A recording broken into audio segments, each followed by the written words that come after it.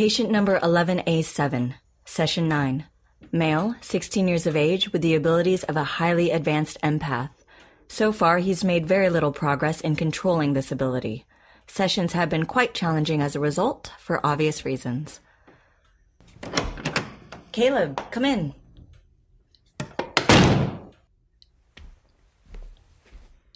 It's very nice to see you. How are you feeling this week? Fine, I guess. You had a football game yesterday, correct? Yeah, How was it? it was fine. We won. That's wonderful. That must have made you happy. Yeah, I guess. Was everyone on the team excited about winning? Yeah. Yeah, everyone was pretty excited. It was really it was really loud. People were shouting? Or do you mean it was loud for you internally? I know you've had problems with post game gatherings in the past. It was just loud. How was school this week? It was all right. You had a big presentation in English class, isn't that right? Yeah. How did it go? It was okay. Remind me, what was the topic? Macbeth. That's right. Did you enjoy reading it? It was okay, I guess. I I didn't really like the witches. They're really creepy, and I, I didn't like the whole free will thing. What do you mean, the whole free will thing? Well, Mr. Collins was talking about how the witches take away Macbeth's free will by like tempting him to kill the king and make him confused and stuff. Do you agree? What do you mean? Do you agree that the witches took away Macbeth's free will? I don't know. Not not really.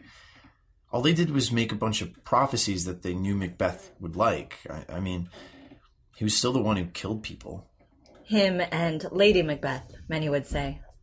Yeah, and Lady Macbeth. I didn't really like her either. No, she's not a very likable character. I just don't think that's possible.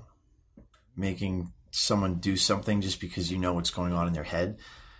Macbeth was already ambitious. The witches couldn't control him just because they knew that, right? What do you think? No, no, I, I don't think they could. Remember, in the same way that Macbeth chose to murder, the witches and Lady Macbeth chose to manipulate. It doesn't matter what information you have, it's about what you choose to do with it. Yeah, I guess so. Caleb, are you worried about making someone do something they don't want to do? No, I just. I think I made something worse. What do you think you made worse? There's this kid in my year. He's like a total loser. Caleb, remember, don't use insults to connect to people. Right? Sorry. Continue.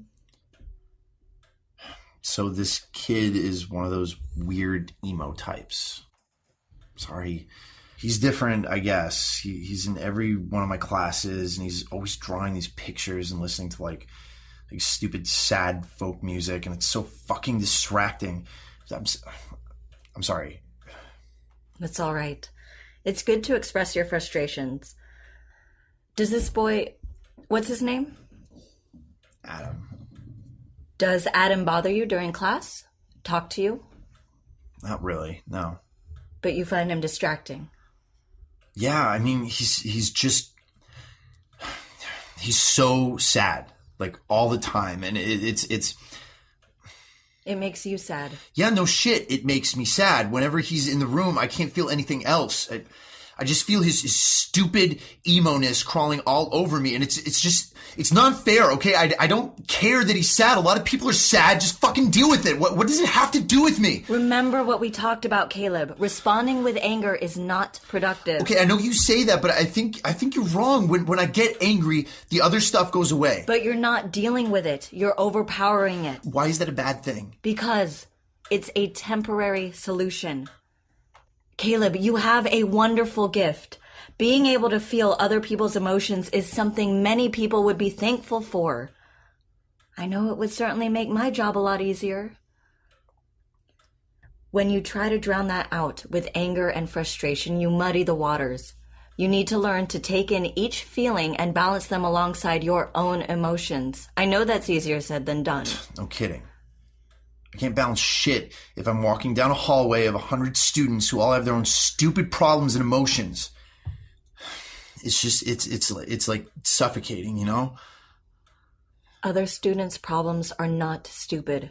Everyone has their own burdens to bear. Yeah, so why should I have to bear all of them? I didn't ask for this. I don't want to I don't want to deal with this anymore. Your mother told me she wants to get you at home tutoring. I know you have an easier time with adults. Have you considered taking her up on her offer? I wouldn't be able to play on the football team if I did homeschool.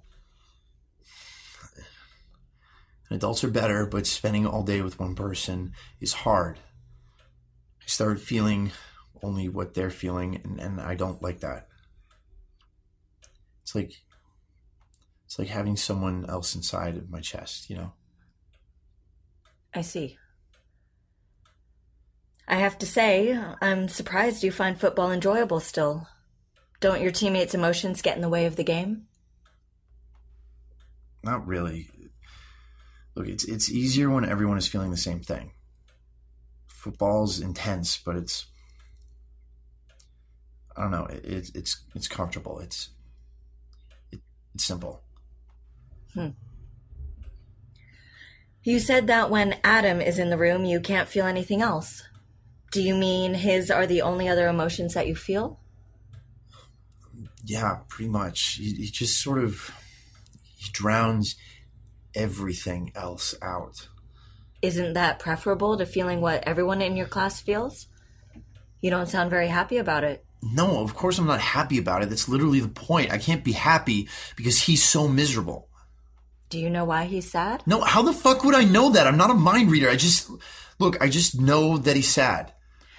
In previous sessions, you've talked about how similar emotions can have slightly different colors to them. Happiness over getting a good grade versus happiness over seeing a friend, for example. You feel that difference. It's something you felt many times in school, correct? Those different colors? Sounds a little gay when you put it like that, but yeah, I guess. Caleb. Sorry.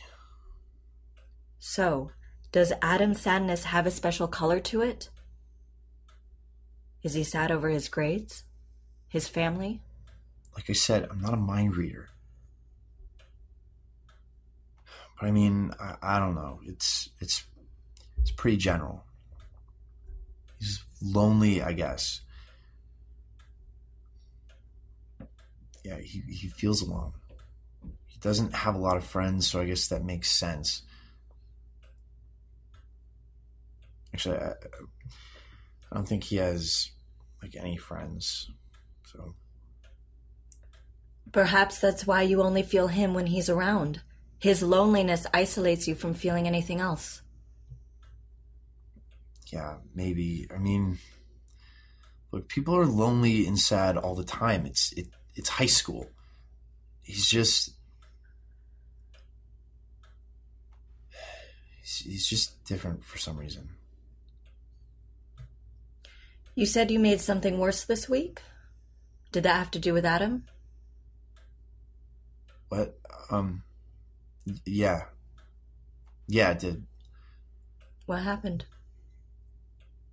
Well, we did our presentations on Macbeth. Mine went pretty okay. I mean, I basically just read off the spark notes for it. So, what? Everybody does it. Anyway, he, he he gets up there and he gives this like really long and weird presentation about the witches and symbolism and and King James and I don't know. I, I, I didn't really understand any of it. It it seemed pretty smart, I guess. Mr. Collins was impressed, but all of us were like, "Who does this nerd think he is?" It, it was just really show offy. And that bothered you? I mean, a little. It, it was just, it was really annoying, but at least he wasn't sad during it. He was just focused. So, you know, that was a little bit of relief. But it bothered some of the other guys. What other guys? Some of the guys from the team. They were giving a hard time about it after class, calling me names and stuff, pushing them around, you know. Were you a part of this behavior? No, I mean, why would I want to make him worse? It's just going to make me feel worse. And did you feel worse?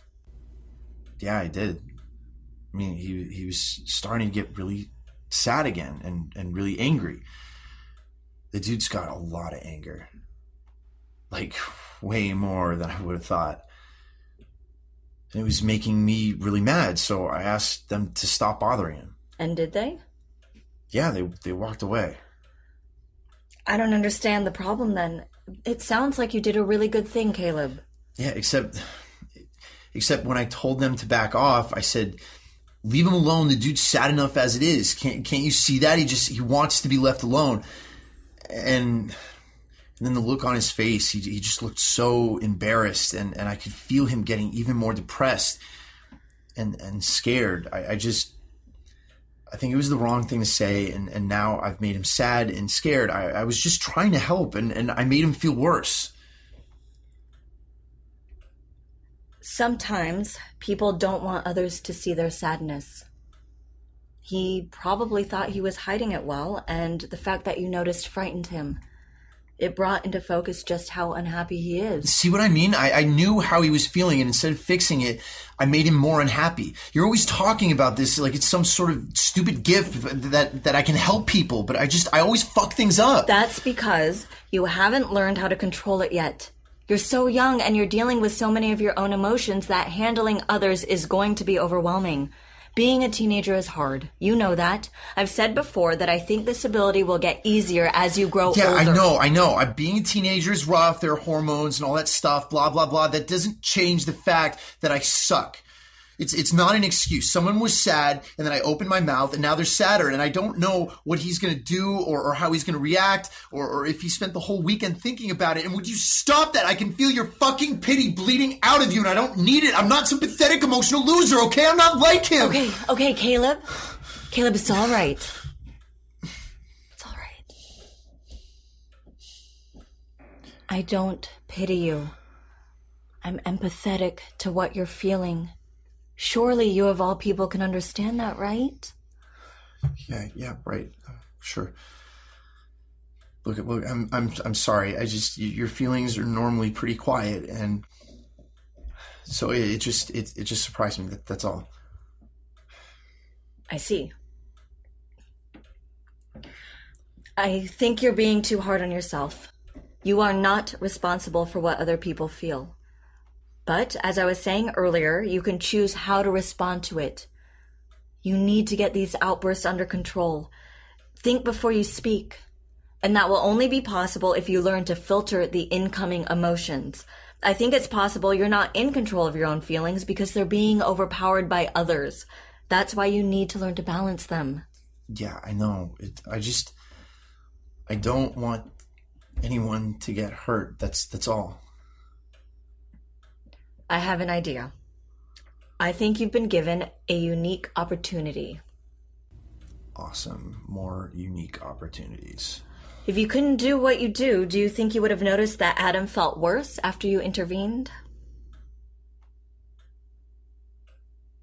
No, I, I, I guess not.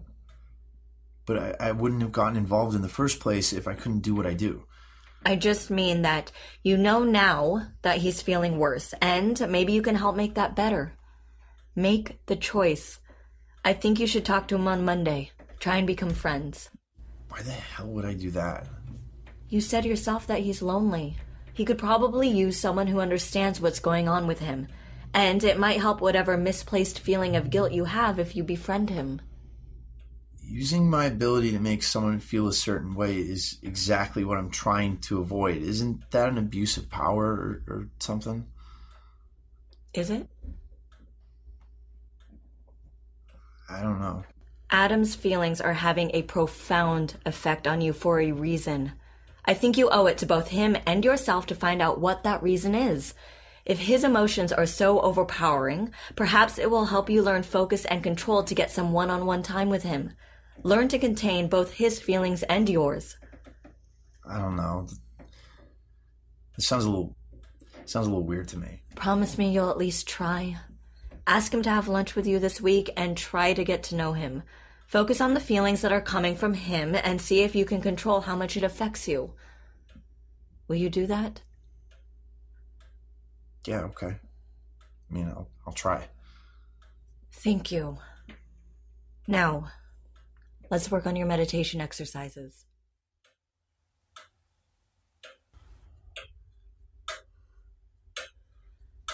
All right, Caleb. I think that's enough for today. Do your exercises at home and remember what we talked about.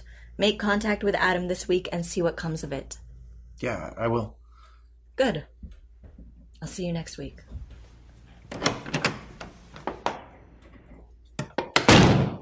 End of session 9. Interesting progress today. Subject showed increased focus in his exercises after venting about a fellow student. I've encouraged him to pursue a friendship, and I posit that the results will be very telling.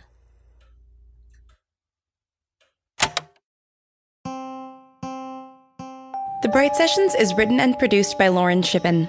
The voice of Dr. Bright is Julia Morizawa. The voice of Caleb is Briggon Snow.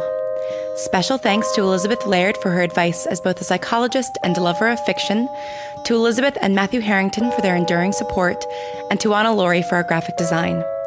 For additional content or to donate to our podcast, please visit thebrightsessions.com. For any questions or just to say hi, email us at thebrightsessions at gmail. Thanks for listening and stay strange.